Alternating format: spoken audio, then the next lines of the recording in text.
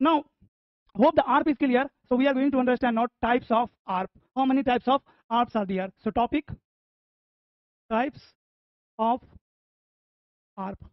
So guys, first type of ARP is called regular ARP.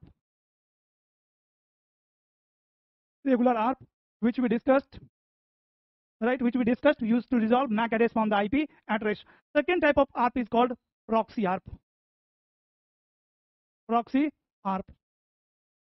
Third type of ARP is called GARP, gratuitous ARP. Gratuitous ARP. In short, we are saying GARP. Third, fourth type of ARP is called inverse ARP. Inverse ARP. And fifth type of ARP is called reverse ARP. Reverse ARP. R A R P. Right. So these are the types of ARP. Let's understand all types of ARP one by one.